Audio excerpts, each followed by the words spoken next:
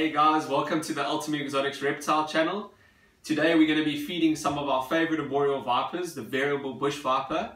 So we're going to start off by talking uh, or teaching you a little bit about them and then we're going to go and start feeding them and show you how we do it. Okay, so let's have a look at some of these bush vipers here. This is one of my favorites. It's got such unusual colors. So now these are called the variable bush viper, Atheris squamigera, and they also, um, for short, we call them squams. And the reason why they got the name the variable bush viper is because they vary so much in color. So you can get pitch black ones, bright red ones, bright yellow ones, blue, almost any color you can think of and any color com combination you can think of. And this one you can see he's got this unusual orange head and this beautiful maroon color with orange tinge to it. It's really incredible. And here you can see also how we keep them. So we have the substrate that we call it our premium wood chips. Um, they don't like it too wet, these guys. They like it a bit drier. Uh, we have a hot spot of about 30 degrees Celsius. And then a water bowl, and we use this um, black plastic grid uh, which we fold inside the enclosure. And uh, as these are arboreal they sit on that grid and we put a, a, bit of fake vine there and it just gives them that sense of security and it's a, the perfect type of setup for them. Simple, easy to clean and uh, easy to keep hygienic. Okay, let's have a look at another one. Here we go. So this is a male and he's a bit bigger than the previous one you saw and you can see how different his color is to that previous one and he's just also just absolutely beautiful. These guys don't get very big. That's what's also so nice about them. They they only get to about 60 centimeters in size. So they're easy to work with. They don't get too large. And they just do so well. These are all, all captive bred animals that have, uh, we've grown up here at ultimate exotics. And in their natural habitat they come from West and Central Africa. So it's pretty warm there and that's why they like it quite warm. And then we spray these guys, uh, give them a light misting once a week. So now let's have a look at some of the other ones and we'll start the feeding. Okay, let's have a look at this one here. This one's a lot darker. This is one of our females, a bit smaller than that previous one we saw. So being bush vipers or variable bush vipers, these, these are venomous snakes. You do not want to get bitten. Although their venom is considered milder than some of the other deadly snakes, um, very little is known about these guys' venom, and there's also no uh, anti-venom for any of the Atheris species. And so in any case, you've got to really avoid being bitten by all costs. And for anyone um, one out there that's keen to get into venomous snakes, the best thing to do and the first thing you should do is go and um, attend a venomous snake handling course just to get a better understanding of venomous snakes and how to work with them. And um, you, you, know, when it comes to keeping venomous snakes, it's a big responsibility as uh, you know, you've got to look after yourself, you to protect yourself from being bitten and other people around you. So it is it's a lot of responsibility keeping venomous snakes and you've got to make sure that you understand everything about it before you get into it. But it can be so rewarding once you once you start keeping these guys. Okay, so let's start off with some feeding now. This is one of the smaller ones. So, like I was saying earlier, these guys, they feed really well. And, and when they're born, they're really small snakes. And you think, yes, these are going to be impossible to feed but these tease feed really well. And the term tease feed is where we take their prey item, we use a frozen thawed pinky or a pinky part, and we then just tap it on their head or body or tail to kind of um, coax them to bite onto the prey, to stimulate a feeding response bite.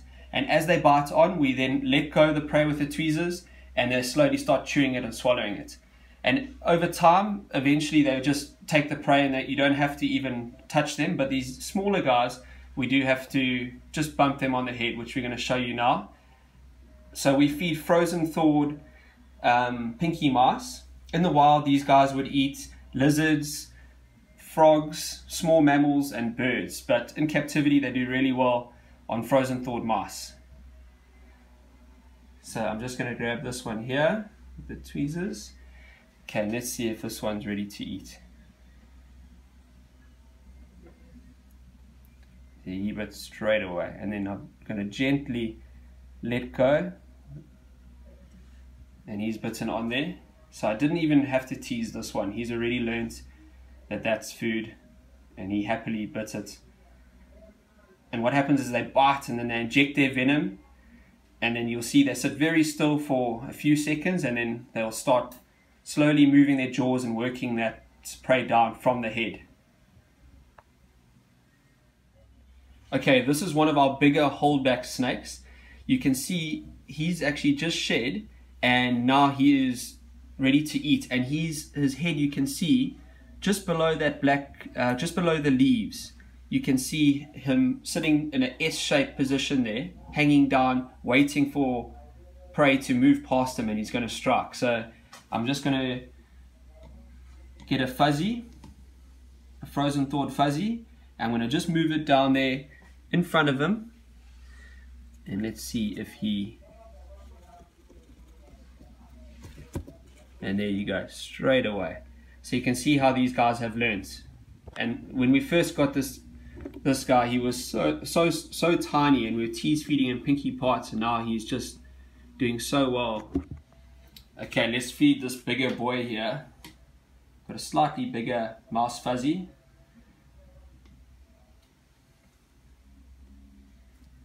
and he might need a bit of teasing. And there he goes bites on straight away. Okay this one is sitting on the floor which is okay. He's sitting on the hot spot warming up for the day which is no problem at all. You can still feed when they're sitting on the floor. And this one's got a very unusually bright yellow color which is really beautiful. So let's see if she's ready to eat.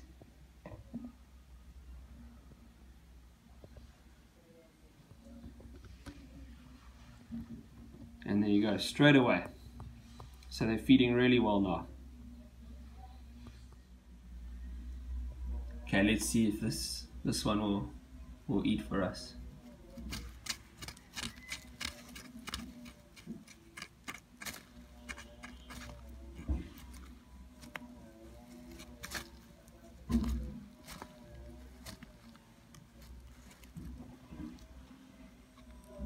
And sometimes it takes a few goes before they bite on and eat. So as you saw, it can bite and bite and bite, and then eventually they bite and hold on and start eating. This is when you have to sit really still and wait for them to swallow it.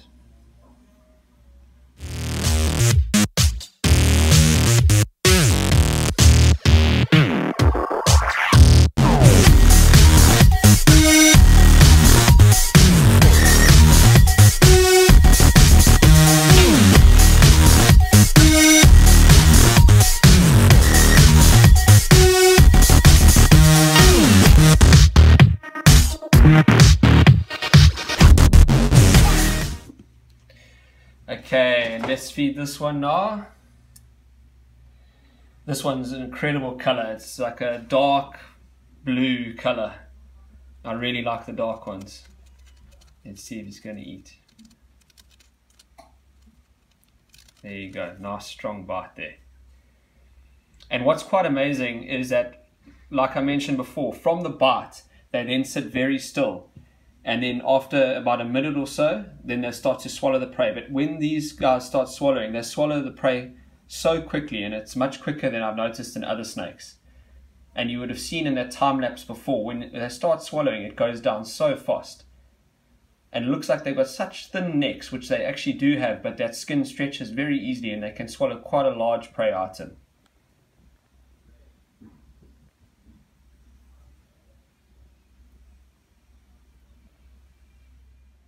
Thanks so much for watching the video. I hope you enjoyed it and I hope you learned something about these incredible vipers, the variable bush viper. Uh, just a bit of advice for those guys that are keen on keeping venomous snakes, that are passionate about it. Make sure to do that venomous snake handling course. Find uh, one in your area or book one and try and get it done, but it's essential thing. And then another bit of advice, make sure to have the right tools. For the variable bush vipers, we've got a good set of tweezers and we have a nice strong hook and make sure they're the right distance to make sure to keep your hands away from the sharp end of these snakes. So yeah, just make sure you have the correct experience and the right tools and the right safety protocol in your room where you're keeping these snakes. And that, that is probably the best advice for these guys. Thanks for watching guys. Please don't forget to hit that like button, leave a comment below, and most importantly, don't forget to subscribe. We'll see you guys in the next video. Thanks for watching. Cheers.